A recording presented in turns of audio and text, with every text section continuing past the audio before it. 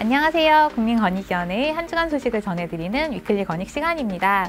추석 명절 잘 지내셨나요? 저는 평소에도 잘 먹는 편인데 명절이 되니 더더 잘 먹게 되더라고요. 일상으로 복귀하기 위해 추석 연휴 다음 날부터 열심히 걷고 뛰고 하고 있습니다. 추석이 지나니까 올해도 얼마 안 남았다는 게 팍팍 실감이 되는데요. 한 해의 실적을 마무리해야 하는 시기이니만큼 지난 1년간의 실적 꼼꼼히 챙겨보시고 부족한 점이나 보완이 필요한 점은 무엇이었는지 살피면서 내년까지 미리 준비할 수 있는 시간 가지시길 바랄게요. 올해 마무리가 아무리 바쁘시더라도 건익 비전, 구독, 좋아요 잊으시면 안 돼요. 아들이 아파트를 취득하면서 아버지로부터 현금을 빌린다면 증여세 부과 대상에 해당할까요?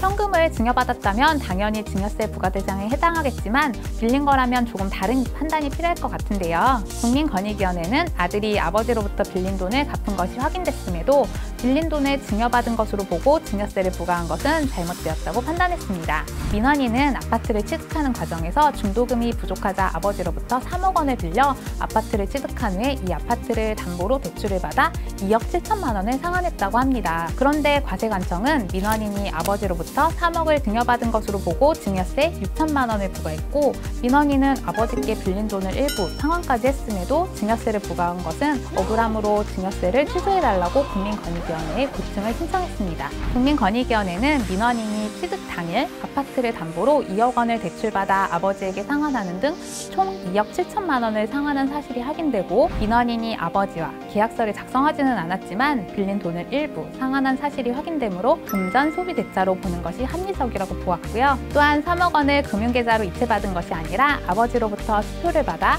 아파트 취득 대금으로 지급하였으므로 3억 원이 민원인의 통장 잔액과 혼재되지 않은 점 등을 고려할 때 민원인은 3억 원을 증여받은 것이 아니라 채용한 것으로 보아야 하므로 증여세를 취소하도록 권고했습니다. 불법 증여 행위에 대해서는 엄정하게 가세해야겠죠? 하지만 국민들이 억울하게 세금을 부과받는 일도 없어야 하겠습니다. 정부는 2050년 탄소 중립을 실현하기 위해 온실가스, 미세먼지 등 탄소 배출의 큰 비중을 차지하는 수송 부분에서 전기 수소차로의 전환을 추진하고 있는데요. 국민권익위원회가 최근 5년간 전기 수소차 관련 국민신문고 민원을 분석하고 국민 생각한 설문조사를 실시한 결과 제도적 장치 미비로 이용자들의 불편이 있다는 점이 확인됐습니다.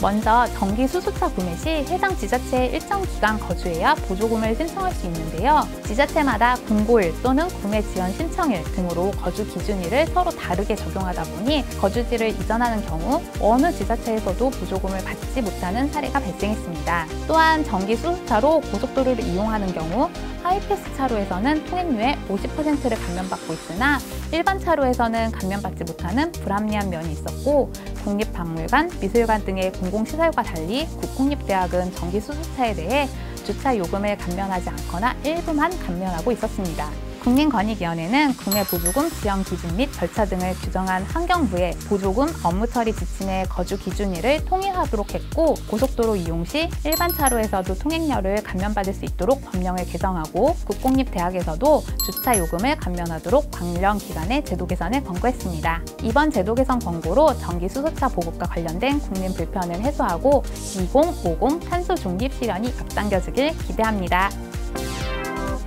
소극행정 아웃, 적극행정 오케이. 각종 사업장의 안전사고를 예방하고 행정기관의 소극적 업무처리 관행을 근절하기 위해 국민권익위원회는 9월 17일부터 11월 16일까지 2개월간 사업장 안전 관련 적극행정 국민신청 및 소극행정 신고 기간을 운영합니다.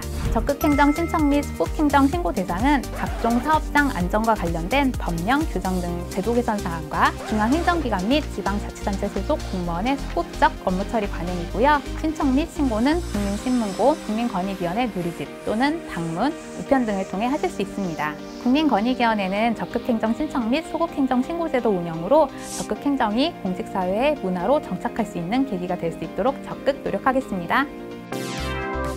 이번 주에도 국민권익위원회의 다양한 소식을 전해드렸는데요. 더 많은 소식, 자세한 내용이 궁금하시면 국민권익위원회 페이스북, 트위터, 블로그 또는 누리집에서 배포되는 보도자료를 참고해주세요.